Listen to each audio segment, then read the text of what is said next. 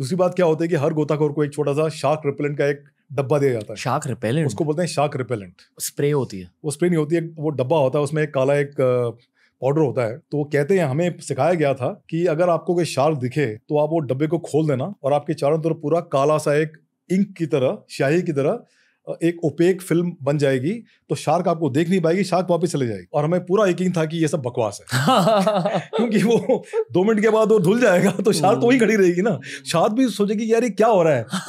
लोग कह रहे हैं कि पिछले अगले पचास साल में तो पूरा जो वर्ल्ड का होलिया चेंज हो जाएगा जो कोस्टल स्टेट्स हैं including Bombay cities including Bombay will be under grief because they will be water which is actually go to seep तो उसके बाद क्या होगा? कुछ सालों के बाद आर्कियोलॉजिस्ट आके देखेंगे हाँ यहाँ पे एक शहर था। उसका नाम था ये था चौपाटी ये था मरीन ड्राइव यहाँ पॉडकास्ट शूट होते थे शायद से। वर्सोवा बीच के सामने। फिर भी यहाँ पॉजिटिव एनर्जी फील हो रही है। दोस्तों कॉमेडोर विजयपाल सिंह रावत के साथ एक ब्लॉकबस्टर इंग्लिश पॉडकास्ट किया था पर ये है कौन?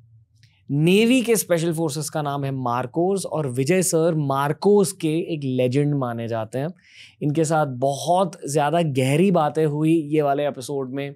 This is a special forces special of T R S Hindi मैं इंट्रो में ज़्यादा बात नहीं करूँगा, पर मैं ये डेफिनेटली कहूँगा कि अगर आपने हमारा इंग्लिश एपिसोड उनके साथ देख भी लिया है तो भी इस एपिसोड में पूरा नया कंटेंट हम आपके लिए लेकर आए हैं। और मिलिट्री पॉडकास्ट मेरे फेवरेट होते हैं। क्यों? अगर ये आपका पहला वाला मिलिट्री पॉडकास्ट है तो इस पॉडकास्ट के एंड तक आप जान लोगे। Enjoy T R S Hindi with Vijay sir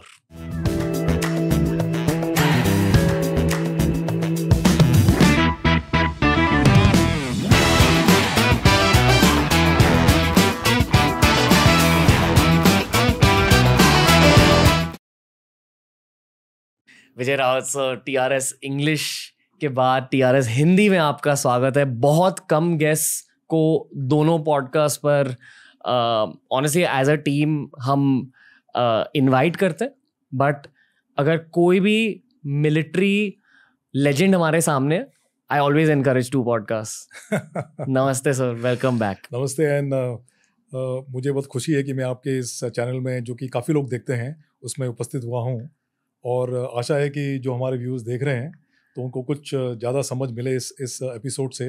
and awareness of फौज के बारे में स्पेशली स्पेशल फोर्सेस और नेवी के स्पेशल फोर्स के बारे में अवेयरनेस ज़्यादा फैले।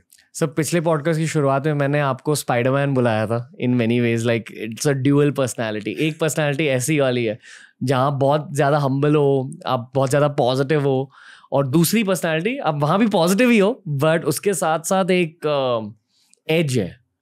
एज एन आपका वो सुपर हीरो फॉर्म है. शुक्रिया। As a as a commando as a marine commando हमने विजय नायर सर के साथ एक नेवी स्पेशल पॉडकास्ट किया था पर मार्को स्पेशल पॉडकास्ट सिर्फ़ आपके साथ करेंगे सर तो, हम अवेलेबल हैं। पहले पॉडकास्ट का एक्सपीरियंस कैसा रहा आपका? बहुत अच्छा रहा। Okay okay. बहुत अच्छा रहा है मुझे आशा है कि ये ये एपिसोड भी बहुत अच्छा होगा। Okay okay. उसी लेवल का पर उससे ज़्यादा अच्छा होगा। उससे ज़्यादा होगा। Uh, मार्कोस के बारे में अगर आपको किसी को समझाना है तो आप कैसे समझाओगे? वो पहली पहला सवाल है। ओके। okay. और दूसरा सवाल यह कि मार्कोस की शुरुआत क्यों हुई थी? ओके। okay. तो ऐसा है कि फौज में तीन डिस्टिंक्ट फोर्सेस हैं जैसे कि आर्मी नेवी और एयरफोर्स तो आर्मी की अपनी पैरा कमांडो स्पेशल फोर्स है एयरफोर्स की अभी उन्हें लेटली शुरू की है गरुड स्पेशल फोर्स तो नेवी की स्पेशल फोर्स का नाम है मरीन कमांडो जी।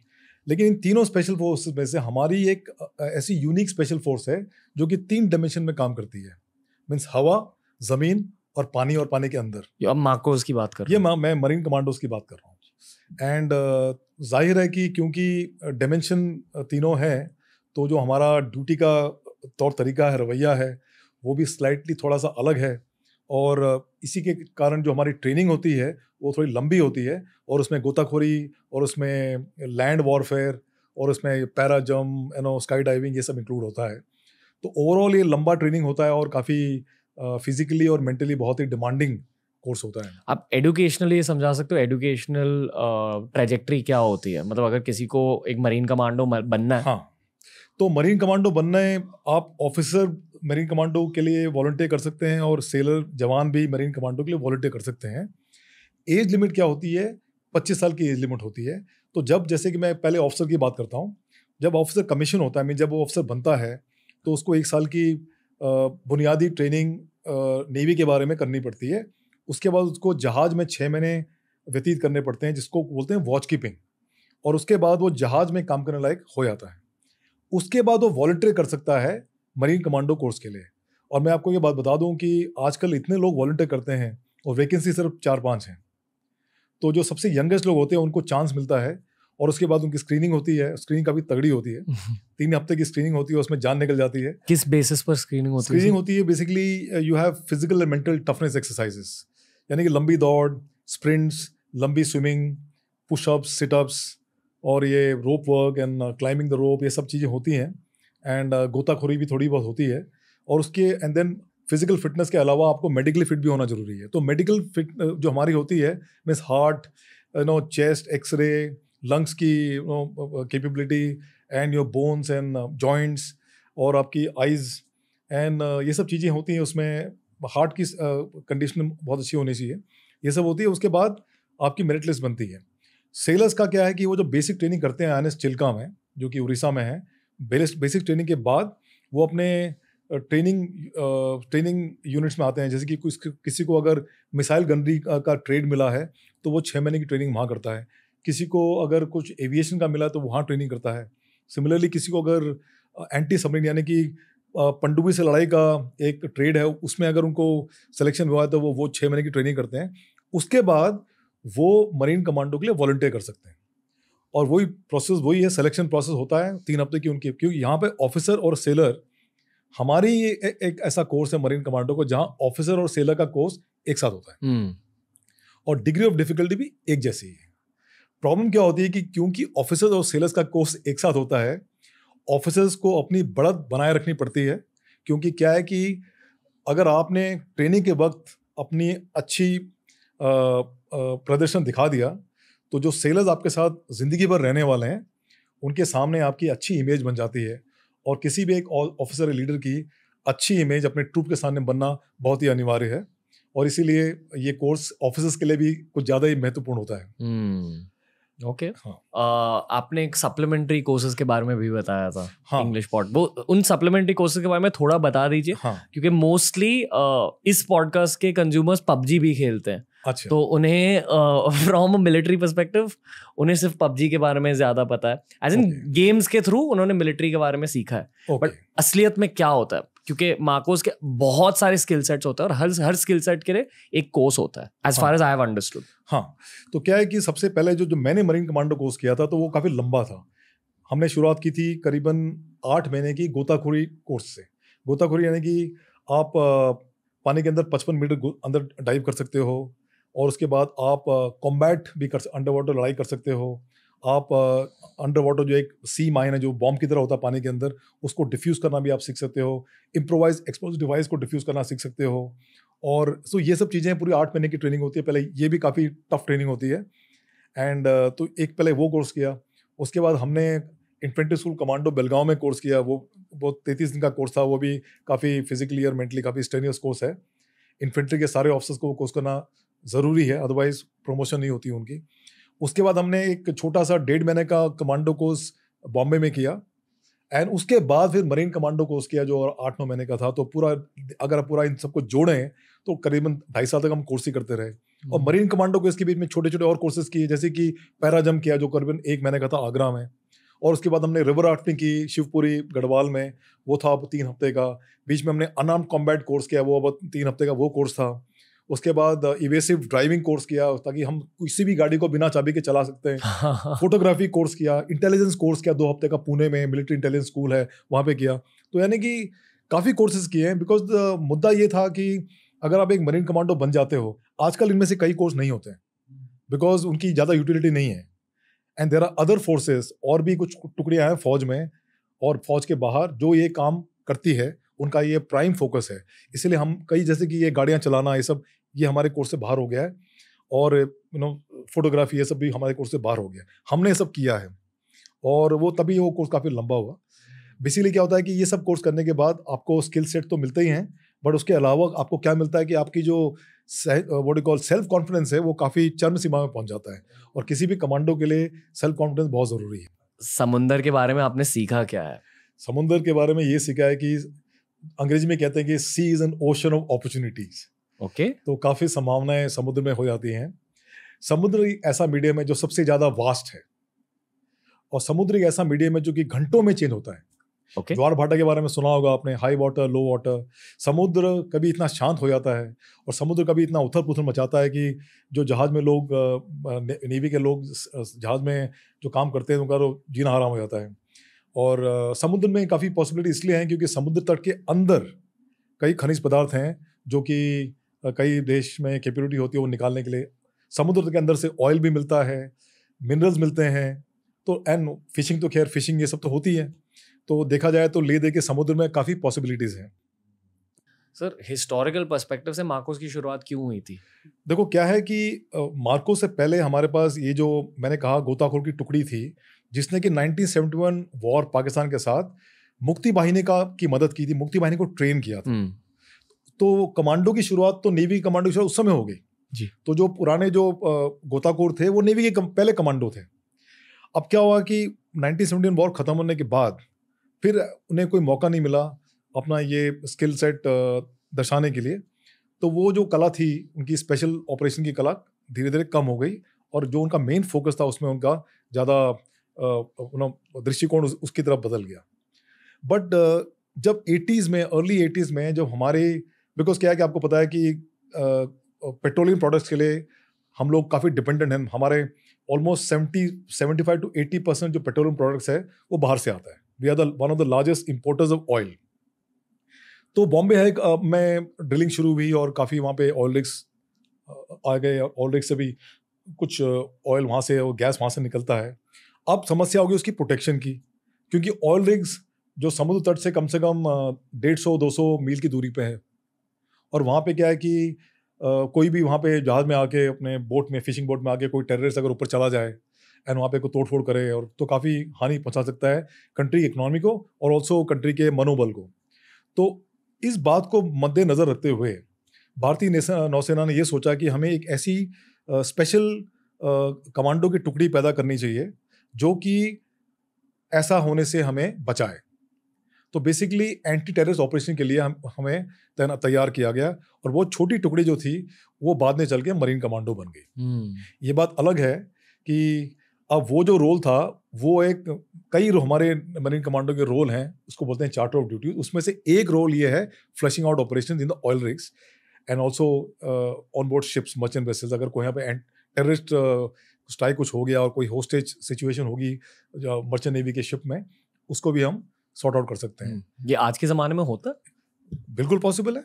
ओके जैसे मैंने कहा कि कुछ ही साल पहले वो कैप्टन फिलिप की एक जो कहानी मैं आपको बता रहा टॉम हैंक्स की मूवी है या टॉम हैंक्स की मूवी कैप्टन फिलिप्स वो एक सही सच्ची कहानी है। हम्म। उसमें अमेरिकन मर्चेंट वेसल को पायरेट्स ने ऑफ़ सोमालिया हाईजैक कर लिया था। स्काई व्हाट कॉल पायरेट पायरेट्स ने चढ़ के उसको कमांडे करके उसको सोमालिया ले गए। हम्म। तो फिर मरीन का उनकी जो मरीन उनकी जो मरीन कमांडोज को बोलते हैं यूएस नेवी सील्स सील्स का वो एक्रोनिम उसका मतलब है सी एयर एंड लैंड यानी कि आकाश धरती और समुद्र। हम्म।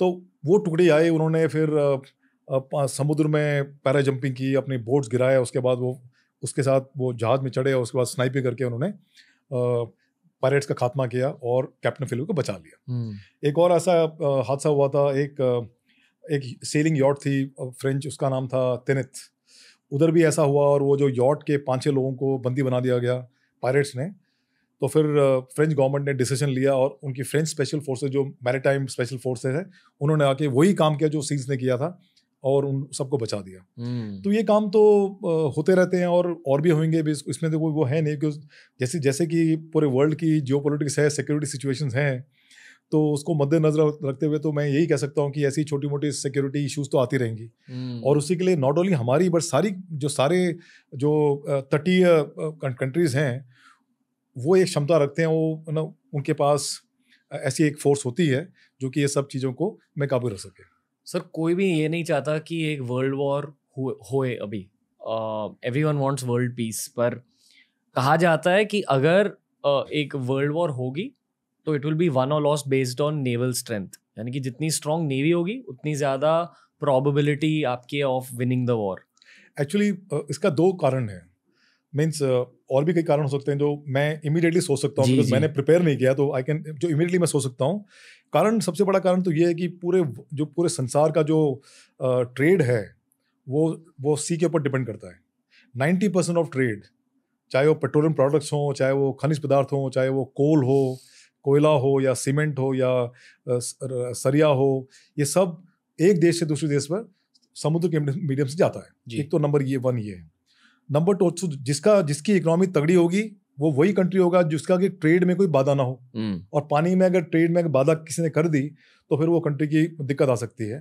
तो इसीलिए अगर वो स्मूथली अगर उनका ट्रेड चलता रहे पानी से तो वो कंट्री तो पावरफुल होगी। जी। और सेकंड चीज़ क्या है कि न्यूक्लियर वॉरफेयर जो है ये एक्चुअली डेटरेंस के लिए होता है। ये एक्चुअली लोग बॉम्ब फेंकना नहीं चाहते हैं because it will create world world world world wide destruction तो वो डराने के लिए, धमकाने के लिए है।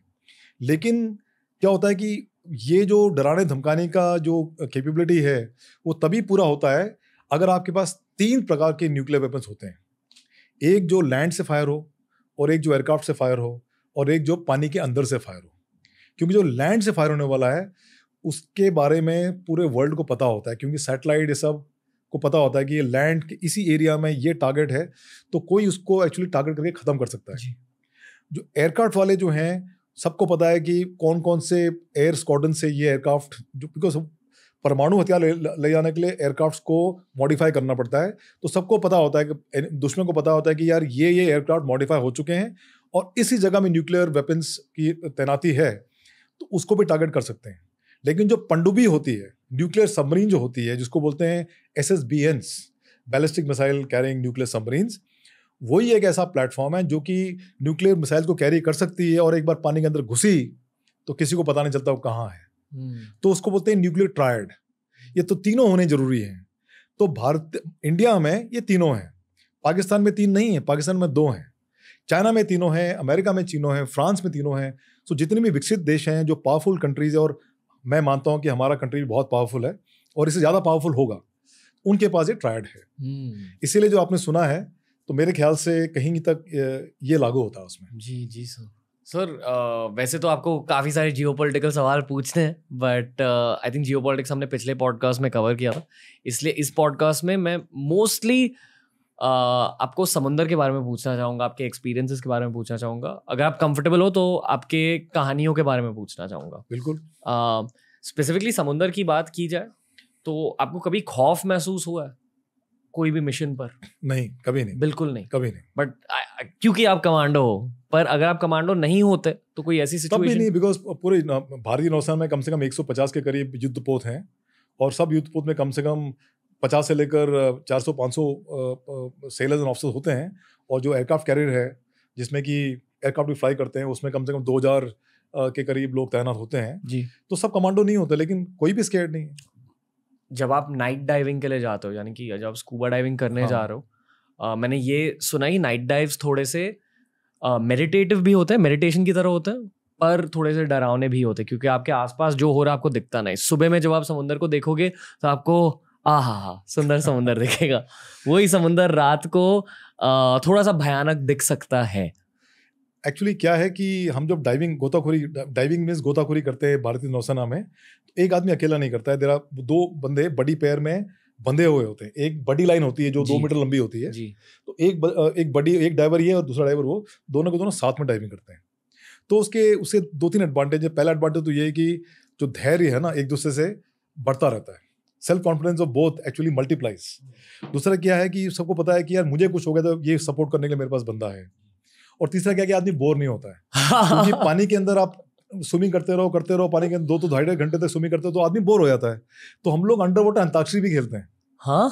अंडर वाटर हम पानी में गुनगुनाते हुए बिकॉज़ वो मुँह में तो माउथ पीस होता है जिससे कि हम लोग सांस लेते हैं। तो हम्म, हम्म, हम्म करके हम लोग अपना क्योंकि हिंदुस्तान में ऐसा कोई प्राणी नहीं है जिसको कि हिंदुस्तानी पुराने नए गाने के बारे में पता नहीं हो। तो हम्म, ट्यून बोलते साथ ही वो समझ आते हैं कि कौन सी पिक्चर का गाना है और कौन सा गाना है।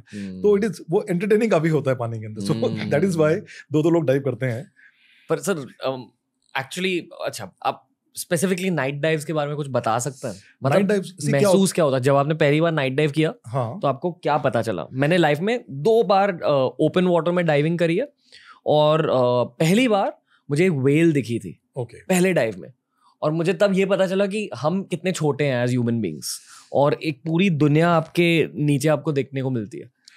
एक्चुअली क्या होता है कि रात को है ना there is an effect called bioluminescence तो ये कुछ कीटाणु होते हैं जो कि पानी के अंदर होते हैं। Plankton not planktons they called bio bio they create bioluminescence यानी कि अगर आप हाथ में पानी को हिलाओगे ना तो वो ना वो जुगनू की तरह चमकते हैं। हम्म तो एक तो ये मज़ा आता है।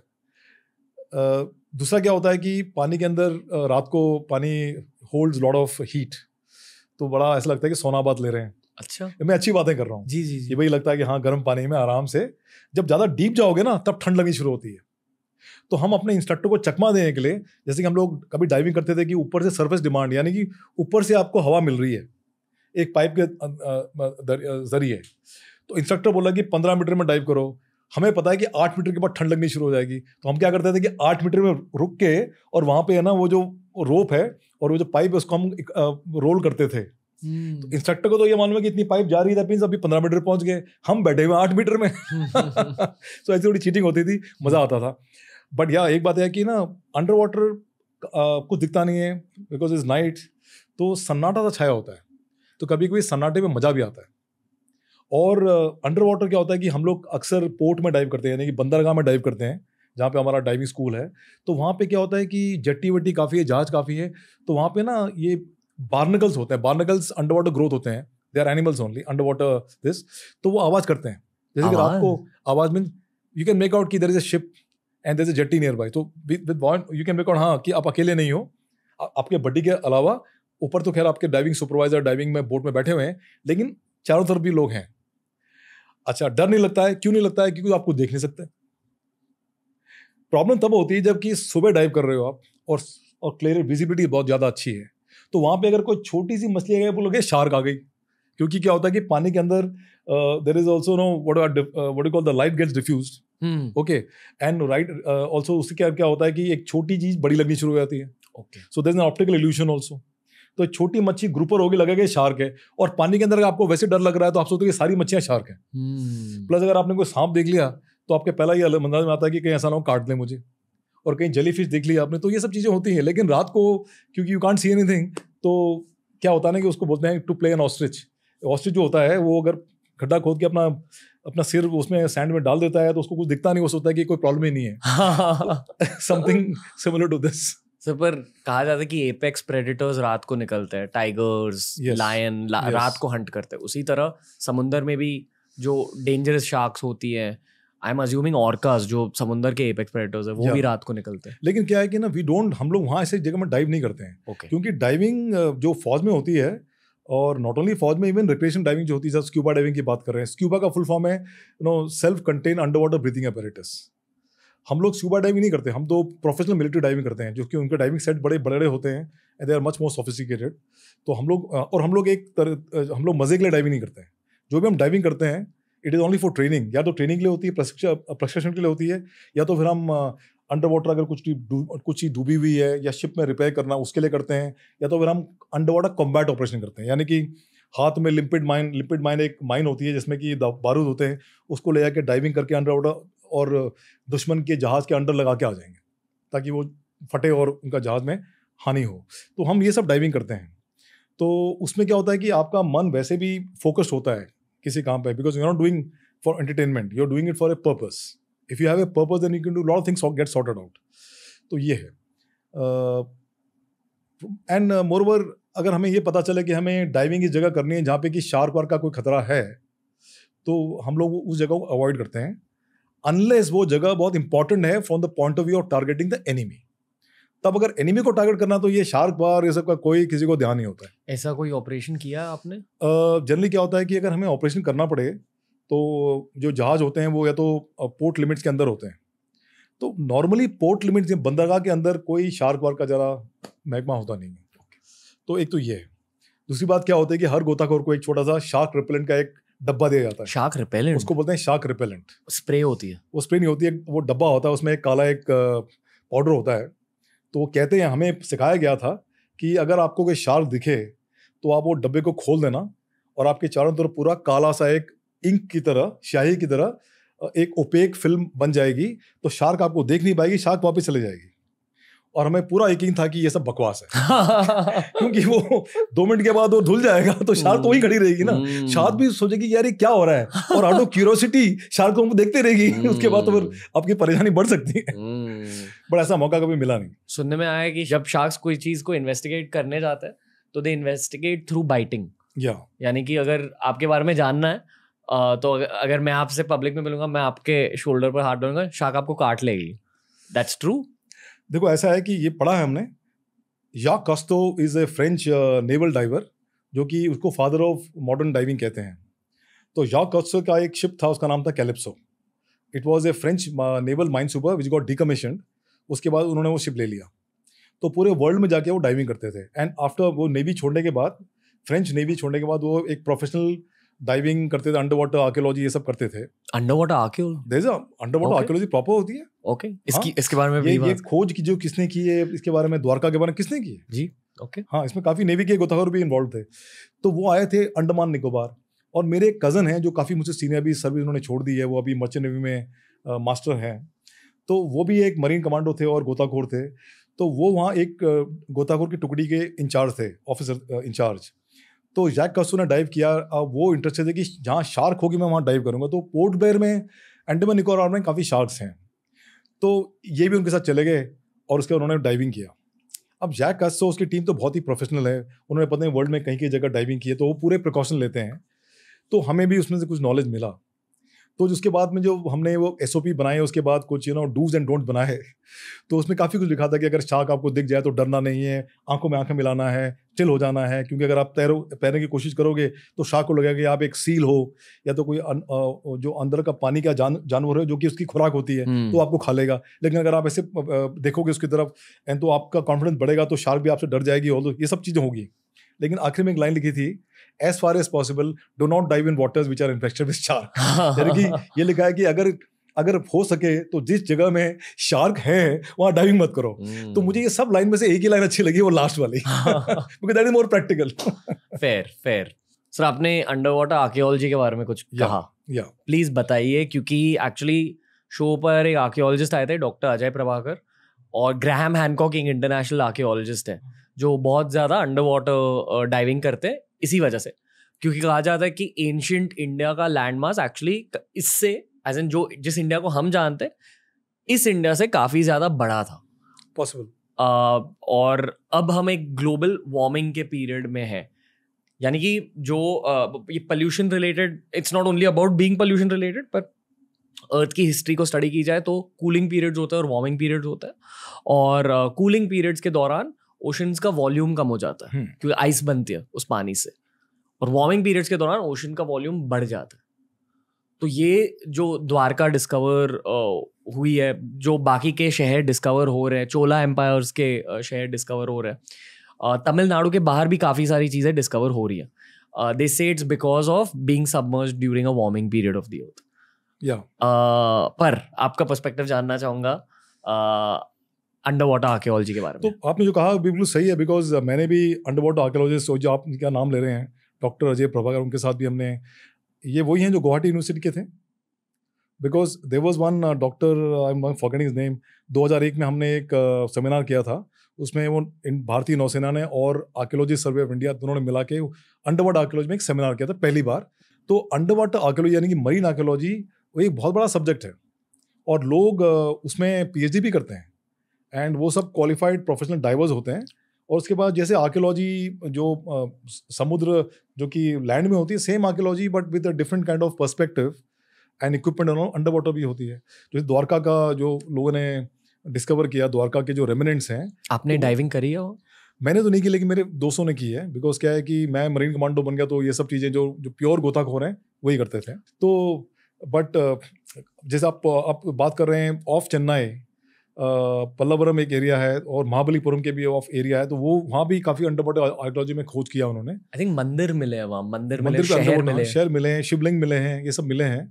तो ऑब्वियसली जैसे कि लैंड में होता है तो उसी प्रकार जैसा आपने कहा कि hot and cold period of the earth and water is no rising level rising अभी भी वाटर लेवल राइजिंग लोग कह रहे हैं कि पिछले अगले पचास साल में तो पूरा जो वर्ल्ड का होलिया चेंज हो जाएगा। जो कोस्टल स्टेट्स हैं including Bombay cities including Bombay will be under grief because they will be water which is actually go to seep an तो उसके बाद क्या होगा? कुछ सालों के बाद आर्कोलॉजिस्ट आके देखेंगे हाँ यहाँ पे एक शहर था। उसका नाम था ये था चौपाटी ये था मरीन ड्राइव। खुदा ना खास ऐसा जल्दी हो लेकिन जब भी होगा। यहाँ पॉडकास्ट शूट होते थे शायद से बताइए। सो बीच के सामने। फिर भी यहाँ पॉजिटिव एनर्जी फील हो रही है। ओके बताइए सर। तो दैट बेसिकली क्या है कि I have seen how they work कैसे काम करते हैं। They have to go under water they have to make a grid grid बनाते हैं। और वो लाइन वाइन खींचते हैं पानी के अंदर तो रस्सियाँ लगा के उसको यहाँ पे है ना नेल्स ठोक के उसके बाद तो काफ़ी एलेबरेट होता है। क्योंकि क्या होता है कि जहाँ पे भी ये सब अंडर वाटर आर्कोलॉजी होती है वो जरा समुद्र तट के सामने होता है। और जो भी समुद्र तट के सामने का जो जो सी होता है समुद्र होता है वो काफ़ी उथल पुथल करता है। सर्फ जोन एंड ऑल जहाँ पे सर्फ हम्म, होता है ना वो तो उसमें क्या होता है वहाँ डाइविंग करना मुश्किल हो जाता है। और नॉट ओनली डाइव क्योंकि टाइडल वेव ज़्यादा होती हैं। तो अंडर वाटर आदमी को स्थिर रहने के लिए बड़ी परेशानी होती है। तो उसको सपोर्ट लेना पड़ता है। उसके बाद उसको मार्किंग भी करनी पड़ती है। फिर क्या होता है कि वो विजिबिलिटी भी कम हो जाती है। और अगर आप देख नहीं पाते विजिबिलिटी प्लस क्या होता है कि जो चीज़ें हैं, जो आर्टिफैक्ट्स हैं, वो इतने मुलायम हो जाते हैं कि उसको टच करोगे तो उसके टूटने के, बिखरने के चांसेस हैं। तो एक्स्ट्रा कॉशन प्रिकॉशन लेना पड़ता है। अंडर वाटर फोटोग्राफी करनी पड़ती है। तो यानी कि जो ताम झाम है ना अंडर वाटर आर्कोलॉजी में वो कहीं ज़्यादा है बशर्ते कि लैंड में जो आर्कोलॉजी होती है। सर आपके डाइव्स के दौरान आपको कुछ अजीब दिखा है समुद्र के फ्लोर पर? एक्चुअली वो कहावत है कि seventy five percent of beauty lies under water नाना प्रकार की मच्छियाँ हैं मल्टी कलर्ड फ़िश और अंडर वाटर कैल्प हो एक ग्रास होती है जैसे ग्रीन वो कैल्प होती है प्लस देर आर प्लैंकटन्स और कोरल्स में का तो जवाब कुछ मिजाज ही कुछ और होता है। एंड अगर आप जैसे तभी तो लोग स्कूबा डाइविंग करते हैं इस सब जगहों में। So under water beauty is fantastic it is very charismatic it's you know यानी कि बहुत अच्छा लगता है। अ, मेरे कज़न एक बहुत एडवांस लेवल के डाइवर है और उन्होंने एक बार मुझे अंडर वाटर करंट्स के बारे में बताया था। हम्म। अब ये भी लिसनर्स को समझा सकते हैं कि क्या होते हैं अंडर वाटर करंट्स क्योंकि एटलीस्ट कमर्शियल डाइविंग में ये बहुत डेंजरस सिनारियो होता है। शायद एनिमल से ज़्यादा dangerous scenario under water currents का होता है और वर्लपूल्स का होता है। हाँ तो क्या होता है कि जो करंट जो समुद्र जो है वो स्थिर नहीं होता है वो हर समय मूवमेंट में होता है। प्लस क्या होता है कि कई कई जगहों का सम जो है वो उसका टेम्परेचर अलग होता है। और कई लोगों का टेम्परेचर अलग होता है जैसे कि कोल्ड वेव और और cold current and hot warm water current तो ये जो मिलते हैं करंट इसमें जो उथल पुथल और बढ़ जाती है। तो कुछ कुछ जगहों में कुछ कुछ लेयर्स में करंट्स फॉर्म हो जाते हैं। करंट यानी कि बहाव तो कभी बहाव तेज होता है। नाउ ये जब आप किसी कोस्ट के ज़्यादा क्लोज जाओगे तो वहाँ पे बिकॉज़ ऑफ़ टाइड्स है ना, जो ज्वार भाटा होता है, उसके चक्कर में टाइडल वेव ज़्यादा पैदा होती है। तो उससे क्या होता है कि अंडर वाटर करंट्स बन जाते हैं। तो वो अंडर वाटर करंट जो हैं, वो परेशानी, दिक्कत करते हैं गोताखोर के लिए, गोताखोरी के लिए, और कोई भी अगर आप काम पानी के अंदर कर रहे हो, और इवन स्विमर्स जो बीच में स्विमिंग करते हैं, उनके लिए भी वो ज़रा ज़्यादा भाव का पानी हो जाता है। और so this is what basically is currents hmm ये मैं आपको नाइट डाइविंग के बारे में भी पूछना चाहता था कि आप खोज नहीं जाते मतलब आपको डायरेक्शन का आइडिया कैसे मिलता? है तो हम लोग क्या करते हैं कि जब हम लोग कॉम्बैट डाइविंग करते हैं तो हमारे पास हाथ में कॉम्पस होता है। Okay Okay. जिसमें रेडियम होता है under water you can see आप बेसिक मैप की तरह होगा? हाँ बेसिकली नो क्या होता है कि जनरली यू नो कि किस एरिया में डाइव करनी है। आपका टारगेट यहाँ से वहाँ है और करंट इस तरफ़ से है। तो अगर करंट का मीन समुद्र का बहाव, पानी के अंदर का, क्यों क्या होता है? जैसे मैंने पहले एक्सप्लेन किया, जो करंट होता है ना, वो ऊपर कोई और लेवल का है, नीचे कोई और लेवल का होगा। नीचे शायद तेज होगा, ऊपर ज़रा कम होगा। तो हमें तो हम अक्सर जब डाइविंग करते हैं कॉम्बैट डाइविंग करते हैं बड्डी के साथ तो हम चार पाँच मीटर की गहराई तक जाते हैं। मीन्स पंद्रह, दस, पंद्रह फीट की गहराई में जाके डाइविंग करते हैं। और हमारे ऊपर एक एक डाइविंग का एक फ्लोट होता है एक फ्लोट लगा के रखते हैं ताकि जो ऊपर जो बोट में हमारे इंस्ट्रक्टर बैठे हैं या सुपरवाइजर बैठा हुआ है उसको पता है कि हम कहाँ हैं। क्योंकि क्या होता है कि वो पूरे चैनल में जहाज़ भी चल रहे हैं बोटें भी चल रही हैं तो कहीं ऐसा ना हो कि हम लोग बोट के अंदर आ जाएँ उनके प्रॉपर से कट जाएँ तो वो रिस्क होता है। तो द मोमेंट वो देखते हैं कि भाई ये ड्राइवर यहाँ पहुँच गया तो हम मार्क करने के लिए वो एक एक फ्लोट होता है काले कलर का उसमें एक लाइट भी होती है रात को। जी। ताकि हमें उनको हर समय मालूम पड़ता है कि मेरा ड्राइवर पानी के अंदर है लेकिन इस जगह में है। तो अगर वो देखते हैं कोई खतरा है तो वो जाके सीधा हमें ऊपर आने के लिए आदेश देते हैं। आदेश देने का भी तरीका है वो स्टन ग्रेनेड फेंकते हैं। क्या फेंक स्टन ग्रेनेड तो वो अंदर जाके वो फटता है। एंड उसमें आवाज़ आती है तो चार बार फटेगा तो उसका मतलब कि ऊपर आ जाओ। तो ये डाइविंग सिग्नल्स भी कुछ होते हैं। एक तो ये है। सेकेंडली क्या होता है कि हमें मालूम होता है हमें डाइव कहाँ करना है। सो जैसे कि हमें बोलते हैं कि यहाँ से उधर जाना है तो हम लोग ऊपर जाकर पहले उसकी बैरिंग ले लेते हैं। वो जो कंपस से बैरिंग ले लेते हैं, फिर हम अंदर जाते हैं और उसी बैरिंग को देख देख के हम चलते रहते हैं। और हमें थ्रो ऑफ़ देना पड़ता है, क्योंकि अगर यहाँ से बहाव है तो हमें थोड़ा इस तरफ़ स्विम करना पड़ेगा ताकि हम ऐसे करेंगे और बहाव से हम इस तरफ़ आ जाएँगे अल्टीमेटली वहाँ पहुँचेंगे। तो ऐसे करके हम लोग को अंडरवर्ड आजकल तो खैर और भी तरीके हैं अंडर वाटर नेविगेशन बोर्ड होते हैं जो कि हमने खरीदा था। मेरे जब मैं principal director special operation diving था तो हमने ये खरीदवाया था। तो अभी तो कई तरह के प्लस अंडर वाटर स्कूटर्स भी हैं अभी। तो आपको ज़्यादा मेहनत नहीं कर, करनी पड़ती। लेकिन हमने जब ड्राइविंग कोर्स किया था उसके बाद हमने ड्राइविंग की। कॉम्बैट ड्राइविंग तो उसमें हमें बहुत ताकत लगानी पड़ती थी। तभी हमारा जो ड्राइविंग गोताखोर स्कूल जो हमारा कोचिंग में वहाँ पर ट्रेनिंग बहुत तगड़ी होती है। एंड उसमें long runs long swim jumping from ten metres bridge and no unarmed combat obstacle course ये जैसे कमांडो कोर्स होता है बिल्कुल वैसे ही है। सर पूरे मार्कोस के टेन्योर में आपका सबसे मुश्किल एक्सपीरियंस क्या था?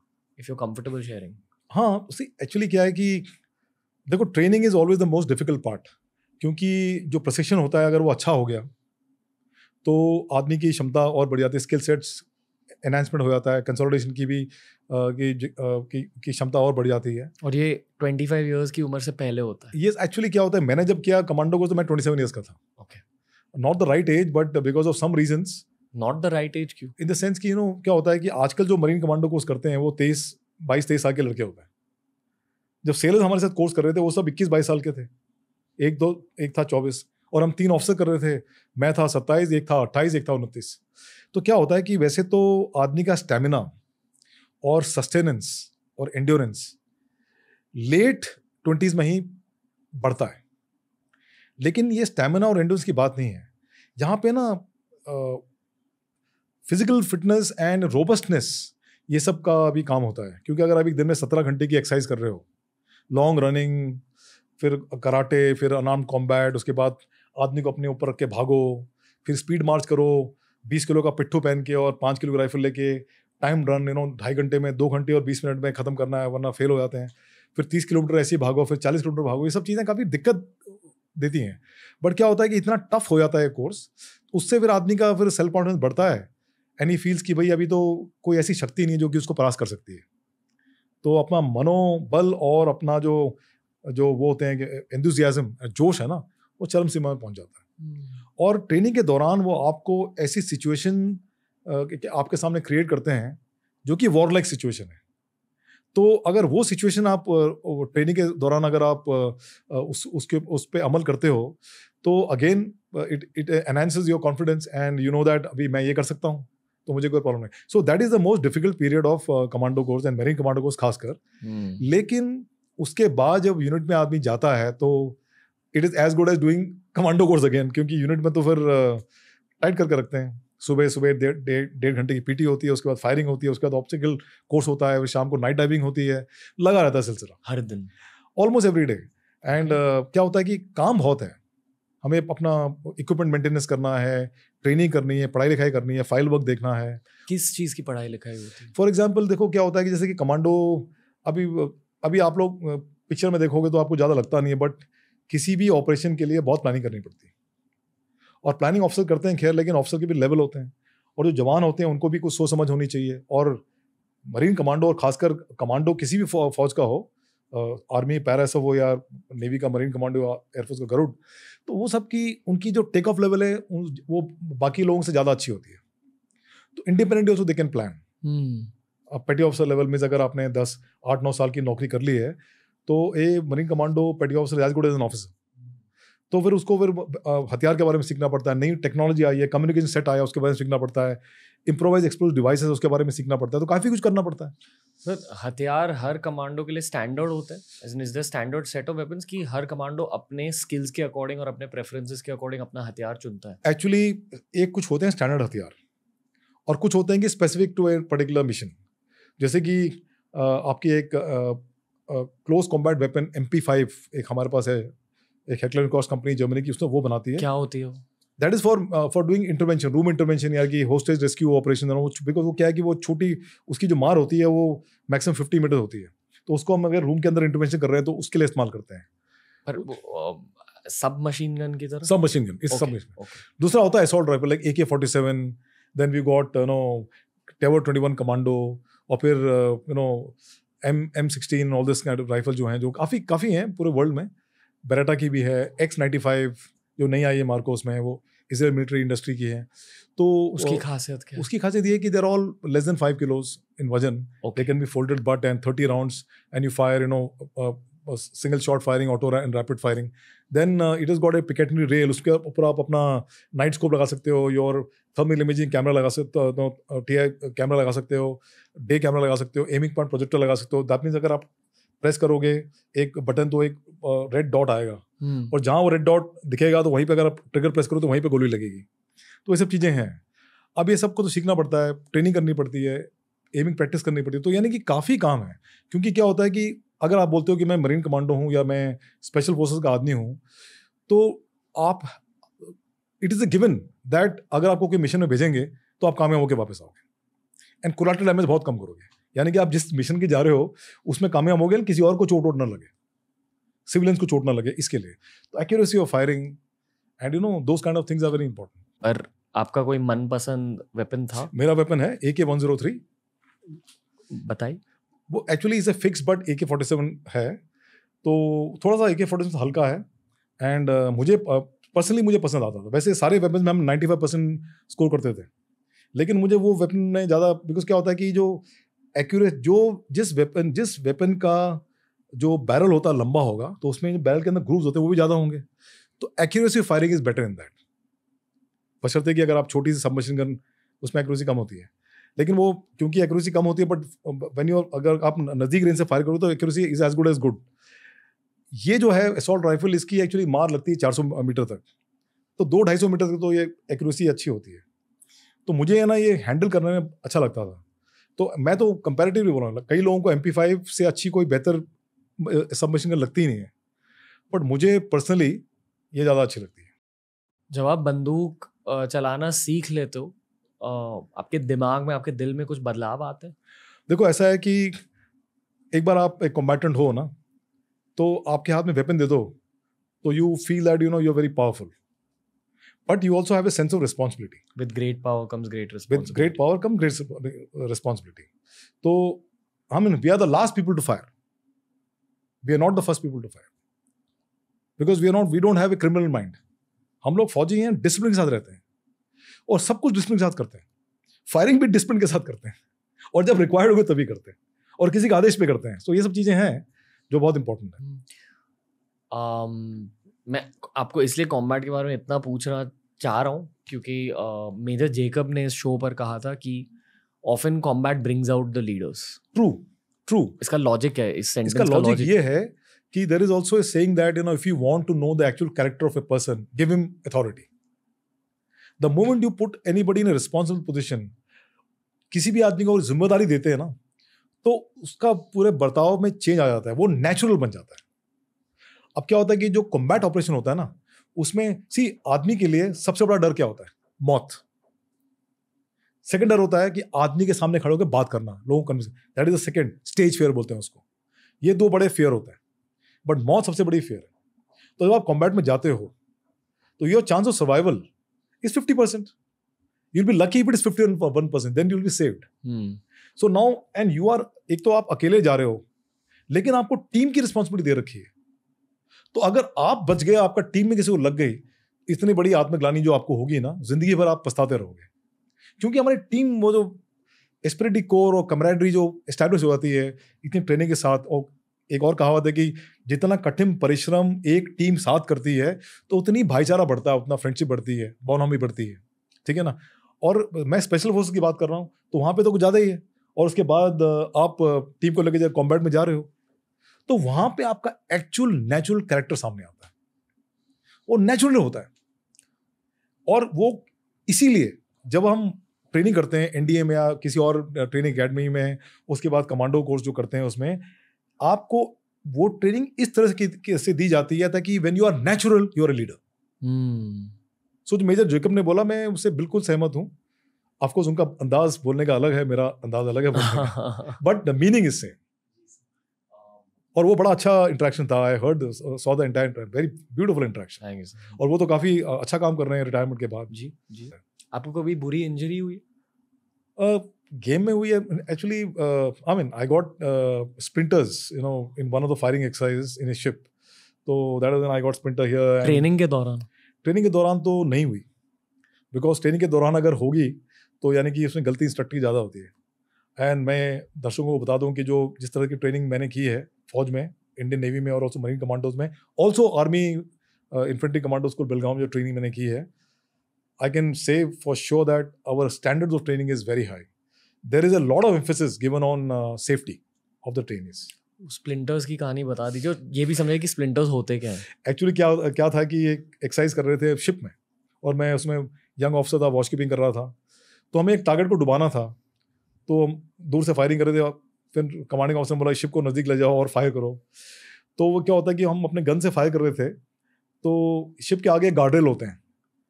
वो इसलिए होते हैं ताकि वो लाइक स्टैंशन होते हैं और गार्डरेल होता है, उसमें जाली लगी होती है ताकि वो कोई आदमी पानी है ना सेलिंग के टाइम पानी में गिर ना जाए तो उसके लिए।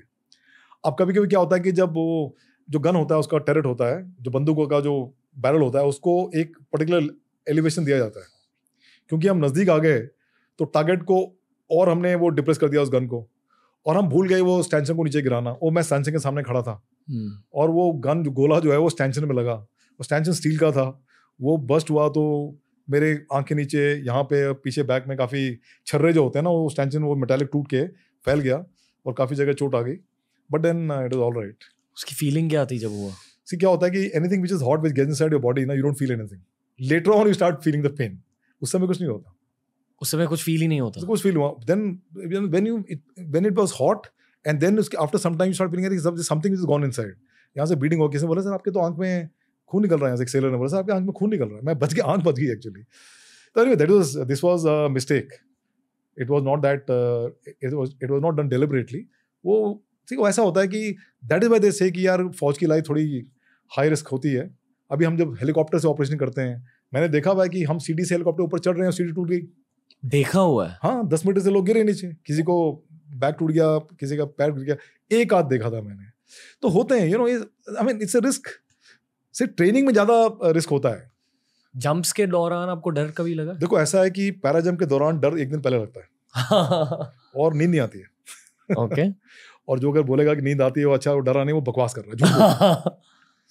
हमेशा हमेशा डर लगता है कि पहली बार। अब क्या होता है कि if you are use to jumping like मैंने स्काई डाइव नहीं किया हुआ है बिकॉज़ मेरे समय में था नहीं।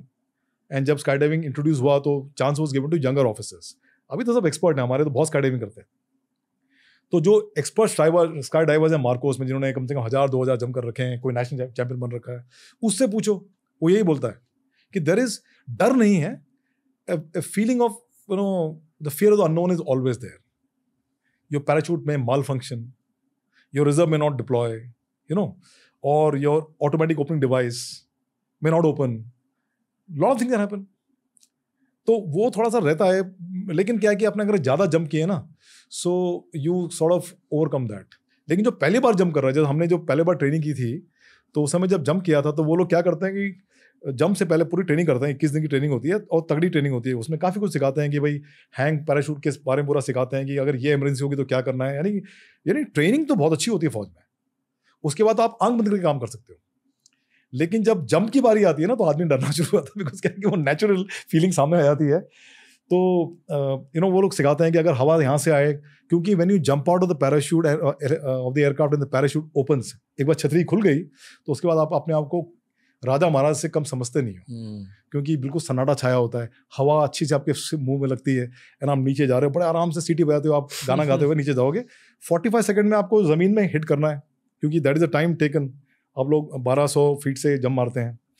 तो दे से कि it is the last one inch which pains क्योंकि लास्ट वन इंच में आप फिर लैंड में गिरते हो। और जिस तरह हवा का रुख है उसके हमें रोलिंग सिखाते हैं कि भाई पैराशूट को ऐसे कर यहाँ इस तरह करना रोल करना है ताकि आपको चोट ना लगे। तो सात तरीके के रोल सिखाते हैं। लेकिन इन्वेरिएबली आप आठवां रोल करते हो। हम्म। वो केकड़ा रोल होता है। तो गिरते हैं चोट लगती है कई लोग रात को लोगों की चोट लगी है किसी का पैर टूट जाता है। होते हैं ऐसे तो हादसे होते रहते हैं। लेकिन जो मेरा वो पहली बार जो मैंने पैराजम किया तो रात को नींद नहीं आई। और सुबह उठ के फिर वो लोग सबको बिठाते हैं लाइन में फिर पैराशूट देते हैं। और ऐसे आपके पास फेंकते हैं पैराशूट की लो। तो आपको डर लगता है कि भई ये ऐसा फेंक रहा है पैराशूट तो उसके बाद आप उसको बिल्कुल प्यार से है ना जैसे कि आपने कभी पूजा नहीं की होगी ना पैराशूट तो आपको देख के आपको भगवान की याद आती है।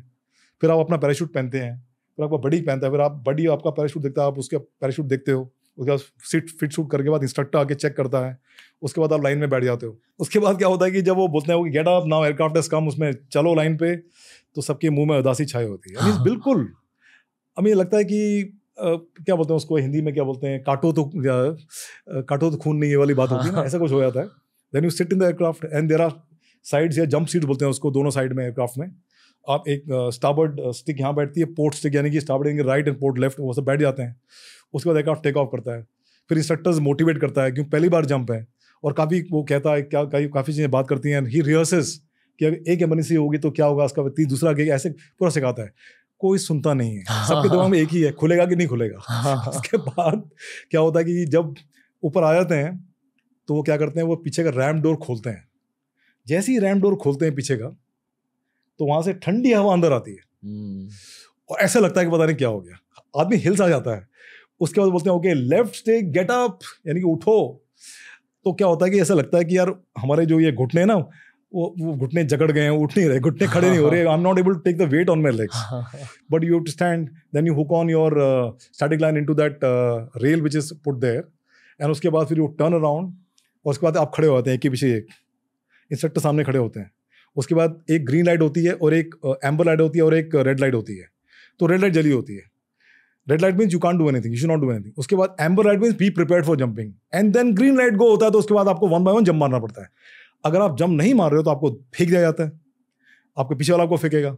लेकिन सब लोग जंप मारते हैं। और जब जंप मारते हैं तो जैसे जिस तरह से आदमी गिरता है पैराशूट खुल के पीछे लगता है कोई पत्थर फेंक रहा है ऊपर से। तो जो ये दूसरे स्टिक वाले हैं, वो देखते हैं अरे हमारा हाल ऐसे होने वाला है। तो उनको और डर लगता है। But it's you know like it's fun once once parachute opens and तो जो आवाज़ अंदर एयरक्राफ्ट में काफ़ी आवाज़ आती है वो वाइब्रेशन की इंजन की आवाज़ आती है। एंड लेकिन जैसे आप हवा में जाते हो और एयरक्राफ्ट चला गया आपका तो बड़ा सन्नाटा छा जाता है। हमने it's a very tranquil atmosphere and very nice and then हमने आगरा में जम किया तो कौन सी ताजमहल ऑल्सो यमुना रिवर दिख रही है वहाँ पे आराम से गाय भैंस दिख रहे हैं। हम्म। डर ये लग रहा था कि गाय भैंस नीचे ना आ जाए उसके ऊपर जम करे तो प्रॉब्लम हो जाएगी। तो ऐसा होता है। And then there are instructors you know like every level there are instructors to help you out so generally हादसे वैसे होते नहीं हैं। वेरी रेयर बट होते हैं तो फिर फेटल होते हैं। इन दो एपिसोड्स के दौरान मैंने सिर्फ़ कुछ मोमेंट्स में आपको फियरफुल देखा है। एक मोमेंट ये थी हाँ, जब हाँ। आप स्काई डाइविंग की बात कर या। हैं। दूसरी मोमेंट वो वाटर स्नेक्स वाली मोमेंट है। या। अ, मैंने एक रूमर सुना है मेरे कुछ दोस्तों से कि मार्कोस को वाटर स्नेक हैंडलिंग भी सिखाई जाती है। Is that true we know we are taught snake handling snake मतलब क्या सिखाया जाता है? देखो ऐसा है कि कोबरा क्रेट ये सब हमें स्नेक हैंडलिंग सिखाते हैं। तो उसमें स्नेक को कैसे पकड़ते हैं? एक्चुअली हाथ से नहीं पकड़ते हैं वो वाइट स्टिक होती है। जी। तो उसको उसको उसको उसका हुड को बंद करना पड़ता है and then you know then उसके बाद how you slip your hand near is mouth and then hold it अभी क्या होता है कि there are some snakes which is got the fangs inside the mouth there are some snake with the fangs come outside also है so like for the example viper hmm, so viper को अगर आपने इसके मुँह के side में पकड़ लिया तो वो तो आपको वैसे ही काट लेगा। हम्म, तो आपको ऐसा पकड़ना पड़ता है। कोबरा का कोबरा का ऐसा पकड़ा तो वो वैसे ही काट देगा। So you have to know what kind of snake it is I mean you must avoid it firstly avoid करो। पर ट्रेनिंग में लाइव स्नेक्स के साथ सिखाया हाँ वो लाइफ स्नेक लेकिन उस समय जो हमें लाइफ स्नेक दिखाते हैं तो they are non poisonous okay mean they are in captivity and so they non poisonous and we have medical team doctor होता है एंबुलेंस सब कुछ होता है। बट ये इसका लॉजिक क्या है? क्यों सिखाया जाता है इसका एक ही लॉजिक है। To build your self confidence because क्या है कि सांप को देख के आदमी नेचुरली डरता है। ये एक आदमी की फितरत है। वो सांप को देख के डरता है। तो वो कहते हैं कि सांप is very rich in protein वो मच्छी की तरह है। तो हमको सांप पकड़ के काट के खा खिलाया भी आता है।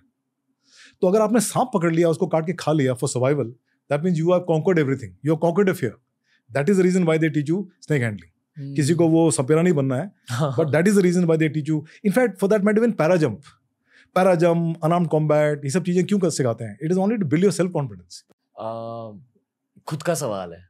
Sort of unrelated to the podcast but मैं ये जानना चाहता हूँ कि लक्षद्वीप को मॉलडीव की तरह टूरिस्ट के लिए डेवलप क्यों नहीं किया गया लॉजिक क्या है उसके okay I tell you you know this NITI Aayog had come up with a proposal to identify ten islands for development of the islands into international levels as resorts and all ji.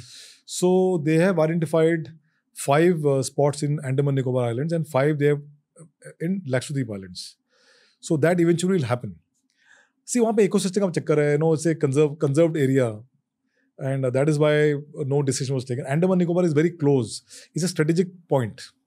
Even Lakshadweep actually sits, sit astrides uh, the sea lanes, which go Hmm. towards the uh, Africa and also towards the uh, Middle East area. So इसीलिए वो सब you know vital point बन जाते हैं. तो security angle था, but now government is actually actively thinking, and moreover they are coral lines, you know.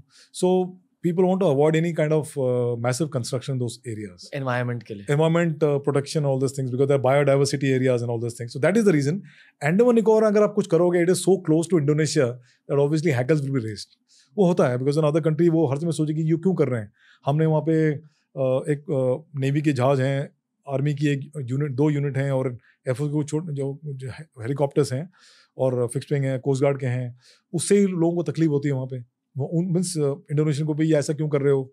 Why do want to make a command what is the problem in all this things so this apart but from the ecological point of no eco system point of view and conservation of the ecology there that is the reason government is taking that decision but now तो ten island have been identified okay in fact when I was in chair as principal director तो वहाँ पे हमें एक proposal मिला था कि जो आईएनएस विराट जो जब डिकमीशन हो गया था तो उसको डुबा के और उसको एक अंडर वाटर वर्ल्ड बनाएँ। हाँ हाँ हाँ। तो I was involve in that तो हमने काफ़ी कोशिश की लेकिन उसके बाद government had given to some state government तो हुआ नहीं। सर अंडर वाटर एक्सपेरिमेंट्स होते हैं क्या? क्योंकि जो रोगन एक्सपीरियंस पर एक एस्ट्रोनॉट आए थे जिन्होंने एक अंडर वाटर एक्सपेरिमेंट में भाग लिया था हाँ। जहाँ एक अंडर वाटर डोम बनाया गया था people are living inside the dome carrying out under water deep sea experiments yes possible it's possible okay it's not like you have uh, uh, ROVs which go down to a great depth and there there are people is manned ROVs unmanned ROVs so you do that plus you know of course ये सब underwater experiment India में तो नहीं होते हैं because it is uh, capital intensive these are high stakes. And so हमारी हिंदुस्तान की requirement परेशानी और कुछ है।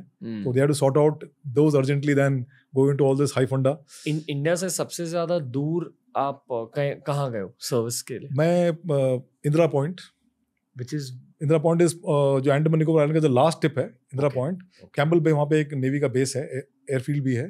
तो सुनामी के टाइम पे मैं कमांड कर रहा था एक जहाज़ पोर्ट ब्लेयर में। तो सुनामी के टाइम पे रिलीफ ऑपरेशन हमने बहुत किया। Andaman Nicobar Andaman Nicobar island I was based in Port Blair my ship was INS Guldar which is the landing ship tank तो हम लोग सामान ले जाया करते थे tsunami tsunami post tsunami relief के लिए। हम्म, तो कई कई आइलैंड में हम हम गए यू नो नेविगेशन मार्क्स नहीं थे वहाँ पे। It was actually high risk high risk from the point of view कि शिप को कुछ टक्कर लग जाए शिप ग्राउंड हो जाए। तो ये सब चीज़ें जो कमांडिंग ऑफिसर के लिए काफ़ी खतरनाक हो जाती हैं। उस उस सुबह के बारे में आपको कुछ याद है?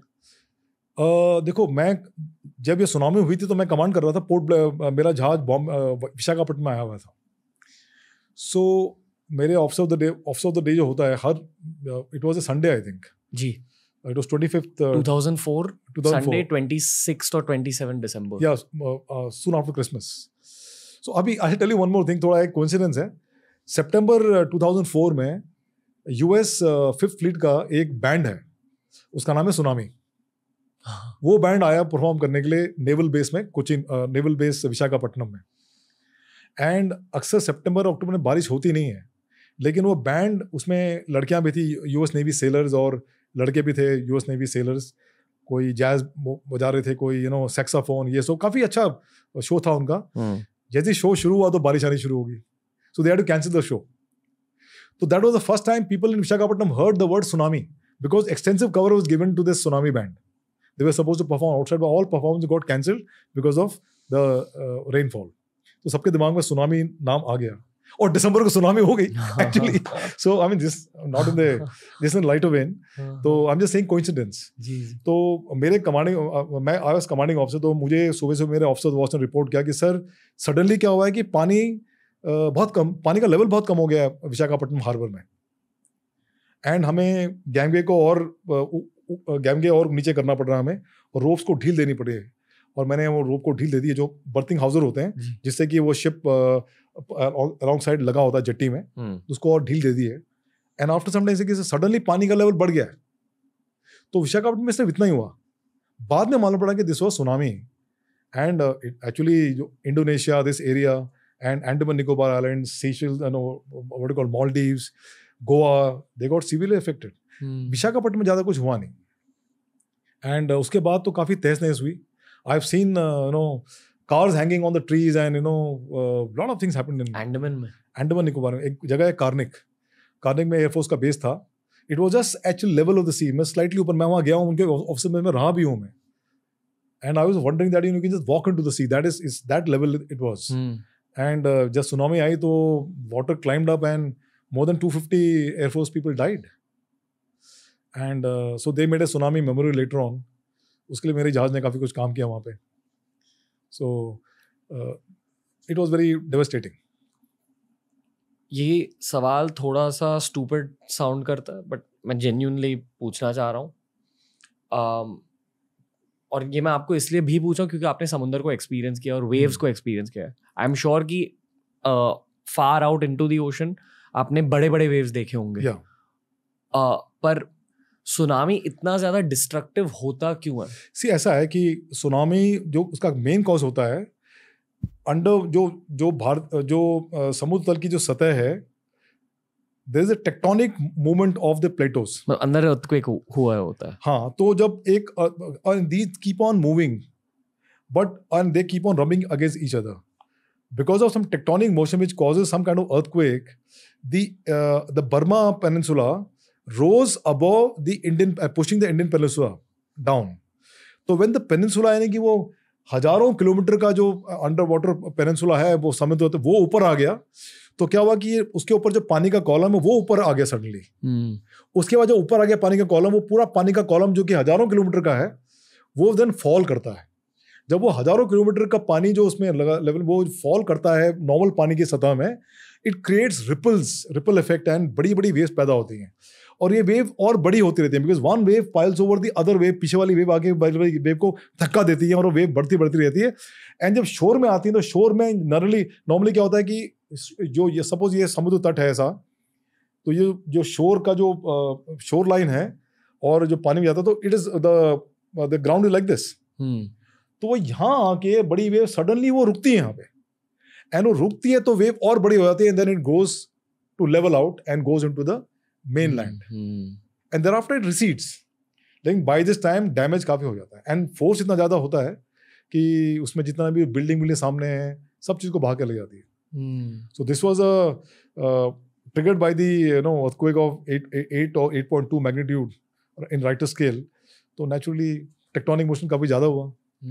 And that is the main reason it's a rising of the water column and then falling To level out. Deaths दोनों मतलब वाटर के फोर्स की वजह से भी हो सकते हैं और आई एम अज्यूमिंग कि जैसे नदी में लोगों के डेथ्स होते हैं। नहीं यहाँ पे क्या है वाटर का फोर्स से क्या होता है कि आपका सर कहीं टकराएगा आपका कुछ बिल्डिंग कुछ कार में कुछ बिल्डिंग का पार्ट गिर रहा है आपको जैसे कि अर्थक्वेक में जब बिल्डिंग टूटी है तो क्या क्या इफ़ेक्ट होता है? हम्म, तो I guess like that only and then some people drown not everybody is swimmer एक जगह है अंडमान निकोबार में नॉर्थ सेंटिनल आइलैंड जहाँ वो अनटच ट्राइब्स रहते हैं जो आपको अटैक करेंगे अगर आप उनके पास गए तो आपको बोवन एरो से मारेंगे। हाल ही में एक मिशनरी ने वहाँ एक मतलब जाने की कोशिश करी और उन्हें मारा गया। आई थिंक दो तीन साल पहले की बात। तो एज रिसेंटली एज 2019 um, ऐसी चीज़ें हुई है। आपकी इंटरेक्शन हुई है नॉर्थ सेंटिनल आइलैंड ऐसा है कि अंडमान निकोबार में काफ़ी ट्राइब्स हैं। Like Andaman is one tribe then there is Onges and there is Sentinelese Sentinelese are the most dangerous tribe dangerous in the sense कि दे डोंट लाइक कि कोई और आके उनके दखल अंदाजी उनके नॉर्मल निजी जीवन में करे। तो नॉर्दर्न सेंट्रल आइलैंड आइलैंड में किसी को जाना वर्जित है। It is prohibited and so they वो अपना खुद का ज़िंदगी बिताते हैं लाइक ट्राइब जो भी है उनको बिताते हैं। Nobody goes there but Andamani group जो है वो they have become very friendly because over a period of time they have developed they have actually become more urban ये वाली ट्राइब उस ट्राइब के बारे में कुछ कहती है? नॉट रियली अलग अलग ट्राइब है बिल्कुल। दो अलग देश की भाषा ही अलग है बिल्कुल। भाषा ही बिल्कुल अलग है। Andamanese and Onges language is different Sentinelese language is different so they don't during tsunami when helicopters went to drop food uh, uh, articles uh, you know food packages on uh, North Sentinel Island. तो वहाँ पे वो लोग तीर कमान लेके helicopter के ऊपर मार रहे थे। So they are that aggressive sir आपने काफ़ी एडवेंचरस लाइफ जी ली है। Do you look at it that way देखो ऐसा है कि एवरीबडी जो भी इस लाइफ जी रहा है तो कहीं ना कहीं किसी ना किसी तरह से एडवेंचर तो होता ही है।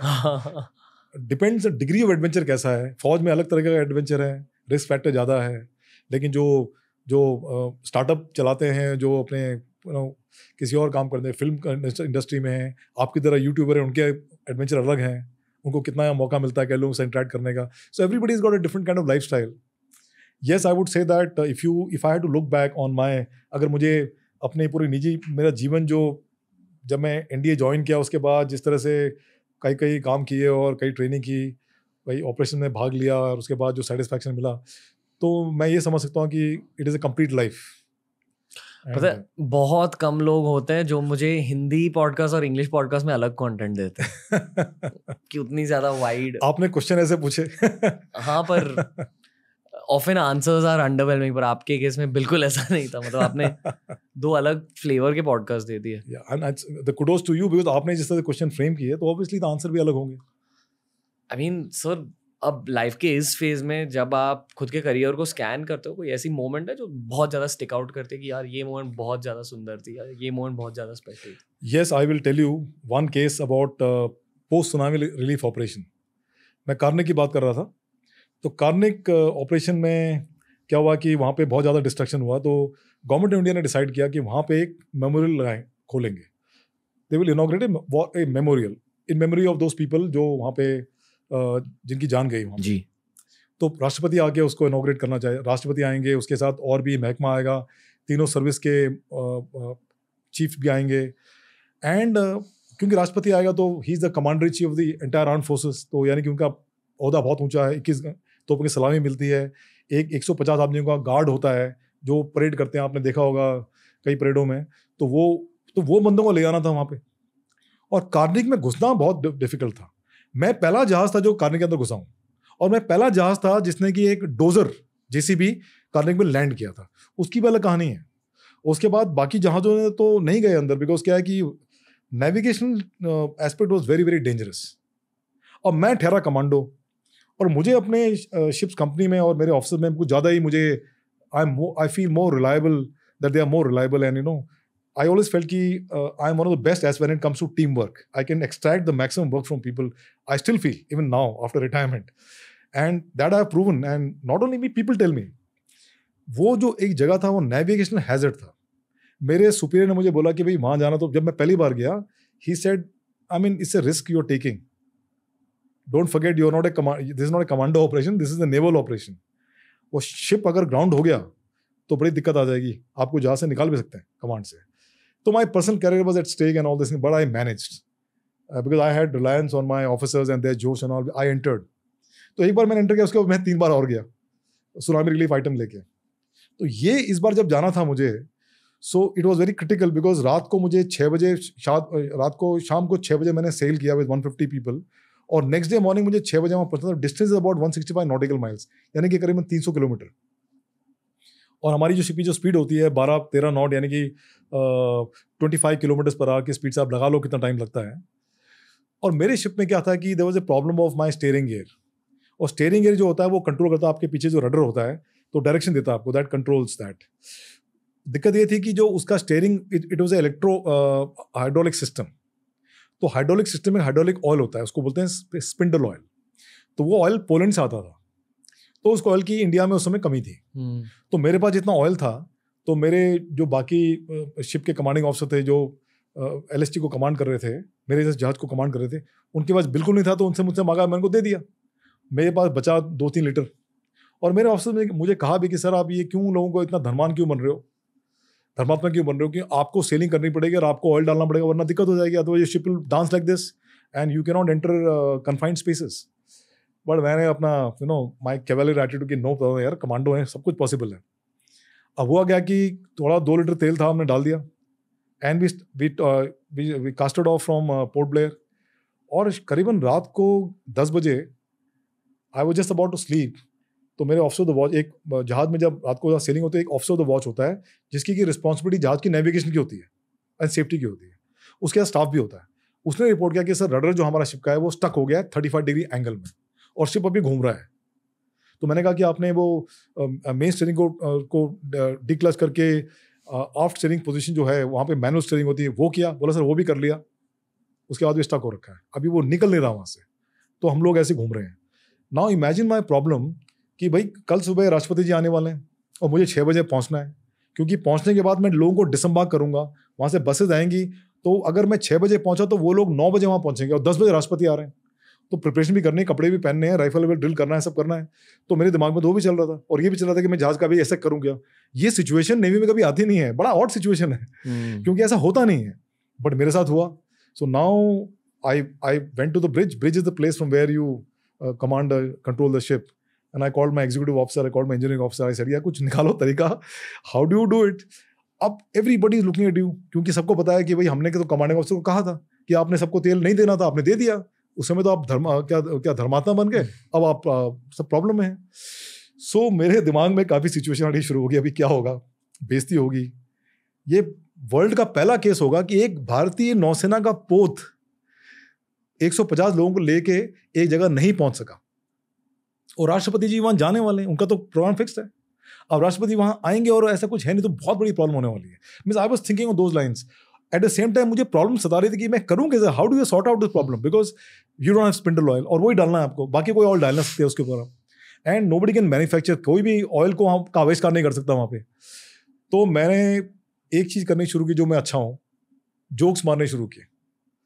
एंड uh, लोगों को ना थोड़ा सा ऐसी कुछ कहानी वानी सुनानी शुरू की। तो लोग बोले अजीब बात नहीं यार एक तो वैसी परेशानी है। अं-, अंदर मेरे को बड़ी परेशानी हो रही है। बट टू नो काम माई सेल्फ मैंने बोला कि वेन यू हैव ह्यूमर ना अगर आपके पास आप मस्त मौला टाइप बिहेव करोगे तो इट इज़ वेरी कंटेजियस तो लोग भी थोड़ा वो थे कि हाँ कमांडिंग ऑफिसर कोई प्रॉब्लम नहीं तो शायद कुछ ना कुछ हो जाएगा। ऐसे करके मैंने काफ़ी बोला, मैंने बोला तुम पेंट निकालो यू नो स्पिरिट निकालो, वो वाला ऑयल को यहाँ से निकाल के बनाओ कॉन्कॉक्शन का कुछ मिक्सचर बनाओ, ताकि उसकी जो विस्कोसिटी सेम होगी तो हम कर सकते हैं। तो मेरे सब ऑफिसर ने बोला, सर, वो सब तो स्टोरीज हैं, होता नहीं है ऐसे। Every oil has got a density, viscosity, and it is all, you know, if it was that easy, so we don't have to rely on Poland to give this oil. Mm. I also knew it, but you know, usame, just to keep people's mind, to keep people's mind ticking as a commanding officer, you have to keep on giving them situations so that they can, and ultimately somebody will come up with some solution. Ultimately क्या हुआ कि एक young officer ने मुझे बोला कि sir I think what we can do is that हमारा जो स्टेयरिंग कॉलम जो है ब्रिज में वहाँ से जो आफ्ट स्टेयरिंग पोजिशन जो शिप के पीछे होता है जिसके नीचे रडर होते हैं वहाँ पे पाइप जाती हैं स्टार्बर्ड साइड से भी यानी राइट हैंड साइड शिप के और पोर्ट साइड से भी जाती हैं। और पतली पाइप्स होती हैं तो शायद उसमें कोई ऑयल बचा होगा। उसमें से अगर कोई हम ऑयल निकाल के अगर दो तीन लीटर भी इकट्ठा कर लें तो मेरे ख्याल से बात बन जाएगी। तो immediately I got up I home down to that point और मैंने कहा, करो भाई इसको। लेकिन किसी ने आज तक वो पाइप खोली नहीं थी। तो जुबली वहाँ ज्वाइंट्स होते हैं ना एल ज्वाइंट्स कहीं निकाले, और वो सी भी थोड़ा रफ था नो हम लोग ऐसे हिल हिल डुल रहे थे। तो काम कर, रात के दस ग्यारह बजे की बात है। काम करना इतना आसान भी नहीं था। बट किसी ना किसी करके हम लोग ने उसको किया एक जगह से। अब ऑयल को खींचे कैसे? You to suck out the oil तो उसी ऑफिसर ने बोला कि सर ऐसे करते हैं हम वैक्यूम क्लीनर इस्तेमाल करते हैं। हाँ, हाँ। तो हमने वैक्यूम क्लीनर इस्तेमाल किया। तो थ्री इडियट में भी इस्तेमाल हुआ था। हम्म। मेरे ख्याल से हमारी स्टोरी सुन के इस्तेमाल हुआ। सो वैक्यूम क्लीनर हमने एक्चुअली ऑयल सक किया यहाँ से भी और उधर से भी। And we got about two three litres of oil that we put and करीबन साढ़े ग्यारह बजे रात को जाके वो स्टेरिंग गेयर ठीक हुआ। And then we no went very with high speed we went and not six o'clock but six thirty seven o'clock we are able to reach तो uh, जैसे हम वहाँ पहुँचे उसके बाद I was able to disembark मेरे एक सौ पचास लोगों को डिसम्बार्क किया जट्टी में एयरफोर्स की बस आ रखी थी फिर उनको ले गए और ये पूरा कार्यक्रम हो गया। तो that was the moment where I felt like it's it's a moment which is the most happiest moment in my life क्योंकि हम I was able to achieve a task which was given to me and like a to naval officer I was able to handle और ये actually situation critical थी ऐसी ये अजीबो गरीब situation थी कभी नेवी में किसी जहाज़ ने ऐसी सिचुएशन कभी फेस नहीं किया और फेस करेगा भी नहीं बिकॉज़ होता नहीं है hmm. मेरे ख्याल से कहीं ना कहीं मेरी मिस मैनेजमेंट होगी लेकिन उस समय मैंने सोचा कि the display of true leadership in this kind of critical situation came out loud and clear and I was able to keep the humor. I was able to keep the josh of the people. And you know like it was like अभी तो मैं मज़ाक से कह रहा हूँ लेकिन उससे मेरी भी सिट्टी बड़ी गोल थी।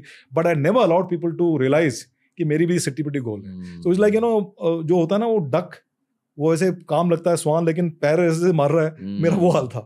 But then once you accomplish something very difficult and complicated then you are so happy so this was that's why am saying in my life अगर कई चीज़ें की हैं लाइफ में you know I been leadership position in so many units of commanded and you know I led teams लेकिन ये जो है डिफाइनिंग मोमेंट है बिकॉज़ इसमें all my leadership qualities Hmm. what i have gathered in my school through my teachers my parents and all and in my academies and all that all came to the fore so that's why i feel कि ये बहुत ही important event है मैंने आपको आज अपने humour express करने का मौका नहीं दिया क्योंकि पूरे पॉडकास्ट को डार्क खौफ खौफ से भरा हुआ बनाया नहीं बड़ा मैं स्माइल तो कर ही रहा हूँ I I just hope to have you back on the show, sir. We have reached the end of the episode. yeah Uh, पर फिर भी आपके अंदर पाँच दस और podcast I can tell you that for sure really Yes. There are more questions there are more perspectives okay कैसा रहा आपका एक्सपीरियंस नहीं बड़ा अच्छा रहा experience actually my son told me because he's also into the same line he said कि, you know uh, Bear Biceps is one of the greatest show we have in in the YouTube and many other digital medium in India and पहली बात तो you invite you for this show also is a big thing and uh, definitely you know uh, you'll enjoy the experience with uh, Ranveer because he's a natural uh, is natural good uh, conversationalist Did you, and did you enjoy it? I'm really enjoyed it Okay. Though there were no jokes, like fewer jokes today. Actually या because you know अभी आपने serious बात करी नहीं पर again it's like as I said in the beginning of both the podcast आप Spiderman हो sir और स्पाइडरमैन के साथ डेफिनेटली आपको जोक्स मारने चाहिए but at the core I need to understand yeah that's true that's true आपने कैसी चीज़ों को एक्सपीरियंस किया? No it's actually nice very the way you i mean i was actually मैं अपनी पुरानी ज़िंदगी मेरे आँखों के सामने झलक रही थी एंड वो बहुत अच्छा एक्सपीरियंस है। और अब ये इंटरनेट पर हमेशा हमेशा के लिए हाँ लेट्स सी जितना कि आपने और मैंने एंजॉय किया इंटरेक्शन में तो आई एम श्योर दैट जो दर्शकगण हैं जो देख रहे हैं उनको सीख तो मिलेगी कुछ फौज के बारे में, खासकर नेवी और मरीन कमांड के बारे में काफ़ी पता, अभी आपको पता चल गया होगा। और ये भी लीडरशिप के बारे में, क्या उसके पहलू हैं, क्या का अंग हैं, कैसे करना है? और भारत, भारतीय नौसेना में ट्रेनिंग कैसे होती है, कितना, किस पे ज़्यादा फोकस किया जाता है, वो सब आपको पता चल गया है। And I am sure you will say that Indian arm forces is पर the best in the world I hope कि नेक्स्ट टाइम या तो मैं आपको पॉडकास्ट रिकॉर्ड करने के लिए मिलूं या हम एक बड़ा शो करेंगे जो ओ टी टी प्लेटफॉर्म्स पर जाएगा? जैसे भी आपकी इच्छा हो हम तैयार हैं any time any place any place I feel कि generally Indian military has a lot of stories and perspectives which need to be shown to the world yeah actually क्या है कि क्योंकि अपॉर्चुनिटी मिलती है ना। जी। अ, कई जगह ऐसी अपॉर्चुनिटी लोगों को मिलती नहीं है अक्सर। ज़िंदगी ड्राइव हो जाती है बट फौज में कभी ऐसा ड्राइव फील नहीं होता है। स्पेशली इन यंगर डेज़ नहीं वो फील होता है। आप वो बाद में आप आप काफ़ी सीनियर बन जाते हो थोड़ा सा फील होता है फ़ाइल को पुश करना हेडक्वार्टर में काम करना लेकिन if you are in field area and life is fantastic Vijay Rawat so on behalf of the team thank you बहुत मज़ा आया आपसे बात करके and I got to live aspects of your life this conversation will stay with me for a very long time so thanks a lot and मुझे भी ऐसा अ, अ, महसूस हुआ। Thank you I sir. Think we should say cheers cheers cheers sir. Salute you once again. Thank you very much maybe let's end the podcast with a nice juicy jai hind. जय Hind शौना Varun yes. एक और episode हमारा खत्म हो चुका है। ये था एक special forces special Vijay sir के बारे में। मैं कौन होता हूँ कुछ कहने के लिए यार? Like I feel embarrass talking about Indian military veterans मुझे शर्मिंदा मत फील करवाओ। मैं आउटरो में ज़्यादा कुछ नहीं कहूँगा। बस ये कहूँगा कि ये पूरा पॉडकास्ट अनफिल्टर्ड नहीं है। इसे एडिट किया गया। अगर आपको अनएडिटेड वर्जन चाहिए T R S clips Hindi को सब्सक्राइब कीजिए। अलग यूट्यूब चैनल है जहाँ सिर्फ़ आपको ये वाले पॉडकास्ट के हाइलाइट्स मिलेंगे। हर एपिसोड के हाइलाइट्स अपलोड होते हैं वहाँ। अगर आपको झट से पॉडकास्ट कंज्यूम करने हैं तो वो चैनल को स्कैन कीजिए। और Vijay sir thank you for being on the show again पूरी इंडियन मिलिट्री को दिल से एक बहुत बड़ा थैंक यू जब हम ऐसी कहानियाँ सुनते हैं, तब बहुत गर्व फील होता है कि हम भी भारतीय हैं। और हमारी रक्षा करते हैं ऐसे सुपर हीरो धन्यवाद और जय हिंद।